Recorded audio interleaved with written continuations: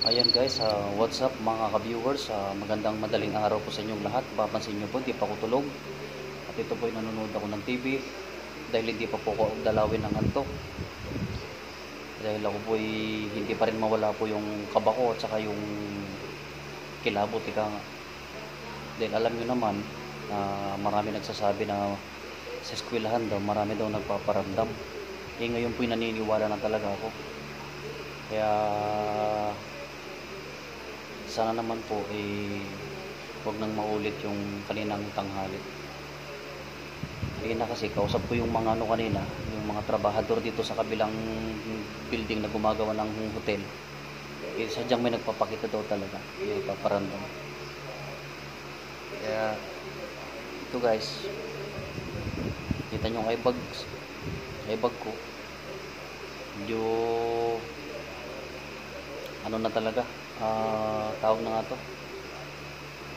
Malaki na dahil puyat. Yan. Kung ginagawa ko ito nanonood lang ako ng TV para malibang ko yung sarili ko. Kasi alam nyo ah uh, uh, yun nga. Eh, gusto ko mang matulog hindi rin ako dalawin ng antok dahil nga sa yung kilabot kaninang naramdaman ko sa sarili ko. Uh, siya nga pala uh, alam ko pong kahit sino sa ganitong sitwasyon hindi kakabahan po talaga kayo. Hindi naman po talaga asin talaga ako duwag. Yun lang hindi lang talaga mawala sa akin yung paninindig balahibo at saka ano uh, tawag nila may tawag sila dyan eh. uh, yung uh, kilabot ika nga. Yan. Uh, tabi-tabi po. Ngayon po kumukuha na naman po ko ng vlog ngayong madaling araw. Wala stress na po dito. Hindi pa rin po ako inaantok. Yan uh, pasensya po kayo ng tanghali kung kung ano po uh, kung ako po'y nakabulabog sa inyo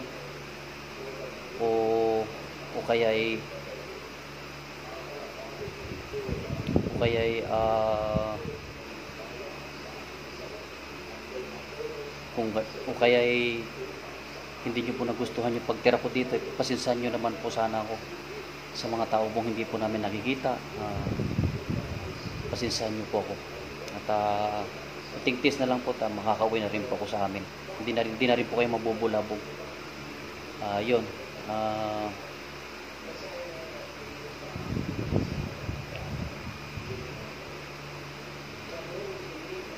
sana umayang alas 7 eh, makatulog ako. At uh, maraming maraming salamat nga pala dun sa mga nanood ng videos ko kanina na yung kababalaghan nga. Nakita nyo naman yung video ko na yun totoo yun. Hindi ko yun inedit o kaya hindi ko hindi ko siya guys hindi ko siya ginamitan ng mga anumang tricks sadyang lumabas talaga sa video ko. Nakita nyo naman yung upuan humarap talaga sa akin. Yan.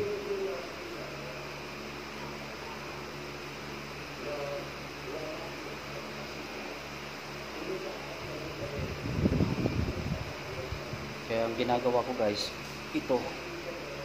Nanonood na lang ng ano uh, nanonood na lang ako ng ano ng bagay wala nang balita ngayon eh. Kay brother Eddie na to nandito eh. Kaya pinapaingay ko na lang para hindi ako gay makatulog. Dahil mahirap sa itong sitwasyon. Kung walin pa yung patapos na sana ako patapos na ako ng quarantine isa ka naman may nagpaparamdam. Sinabi ko naman dito sa mga staff kanina na pinakita ko sa kanila ng iba nga natakot yung sa video ko kaninang tanghali. Yung teacher nga kanina dito gusto ko sanang ipakita yung video. Ayaw niyang panuorin kasi nga natatakot na siya.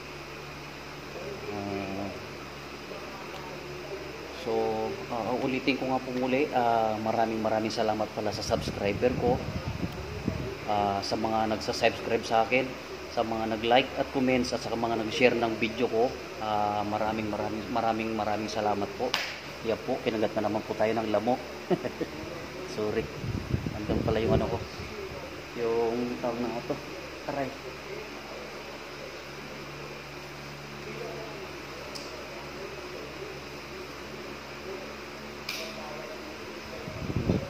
daming lamok talaga guys.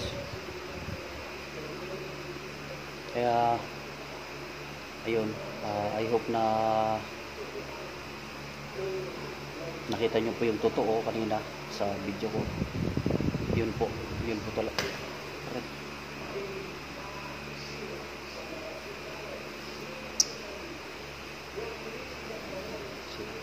Cellphone. Kaya nga, ito, nakabalot ako ng blanket ko.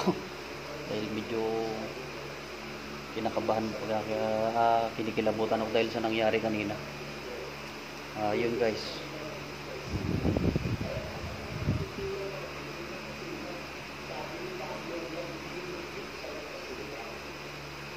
Ah, I hope na I hope na sana makatulog ako mamaya. So maraming maraming salamat na pala ulit sa sa ah, nag-like, nag-subscribe at nag-share po ng videos ko kaninang umaga. Maraming maraming salamat po sa inyong lahat. At ah, sa totoo lang po yun ang pong experience ko dito sa quarantine facility na dito sa school yun yun, pa lang pong kanuunan sa talamboy ko na may nagparamdam po talaga sa akin kaya maraming maraming salamat shit